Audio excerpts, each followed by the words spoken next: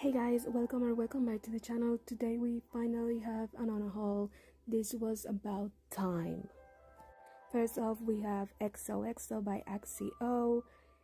This book is romance and I have noticed I not liking romance lately. Like I don't gravitate towards it.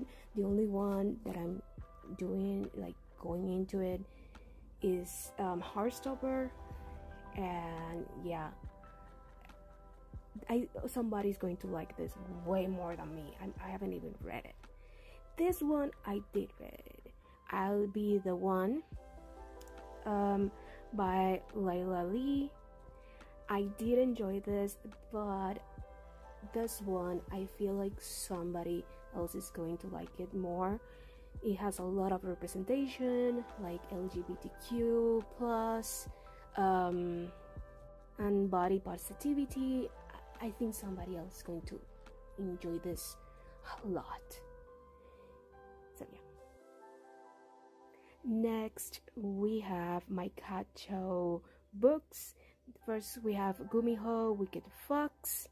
I did read this one. I did enjoy it at the time that i read it but i have felt lately that i have like outgrown some um younger books so yeah. And Dokkaebi Vicious Spirits is the sequel like the companion sequel to um, Gumiho I did enjoy it again but again I felt like I have um, outgrown it.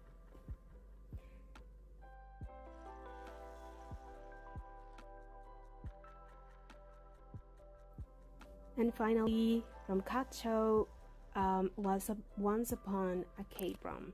I did bought this like when it came out. Um, I tried to read it, but this is when I started seeing that I was outgrowing young adult.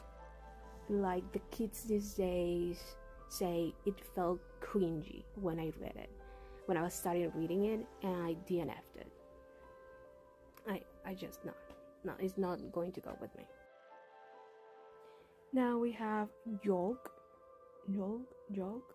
Um, I hope I'm pronouncing it correctly. By Mary H. K. Choi. This one, I was in the middle of it, in a hundred and something pages in, and I don't know. I think maybe I got desperate. I don't know. Like I wanted things to go quickly. I don't know. Maybe and I lost um, interest in it. Yeah, this one is gotta go. So this one, I don't know if I'm going to get rid of it because I did love this book. Is a long way down by Jason Reynolds. The thing is, I think my cousin is going to really love this book, so I'm thinking of giving it to them. But it's just me thinking. Next, we have Six Crimson Cranes by Elizabeth Lim.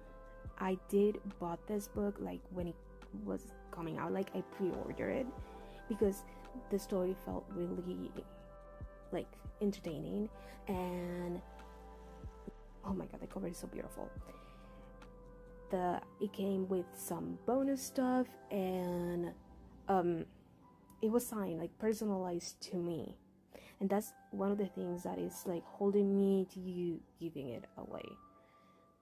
It's personalized. It's so beautiful. I'm thinking that i'm going to give it like another try. Maybe. I, I don't know honestly. I'm thinking about it.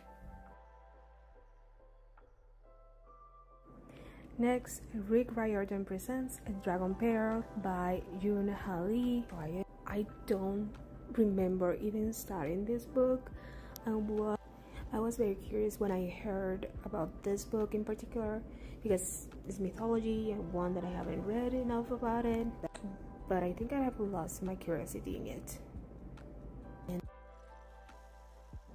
So next one we have one that I don't know if I'm going to get rid of is Akata Witch by Nnedi Okorafor. I did read this one and I did enjoy it when I read it. I love the story, I love the magic. Beautiful. But here we have Akata Warrior by Nnedi Okorafor, the sequel to Akata Witch. And here's the thing I was reading this book. I don't know if it's because it's chunky that I couldn't keep going or that I outgrow it. I don't know. And then we have Nnedi Okorafor, Binti, the whole trilogy. And I did read the first novel, I did like it. I was in the middle of the other one, I couldn't, I don't think I could get into it. I don't know if I'm going to get rid of them or give them like a second chance. I'm thinking of giving them like a second chance, try to read them now and see if I like it or not. If not, I think my cousin, I think they will like it. Well, that's it for today. Thank you for watching, and I see you next time. Take care. Bye bye.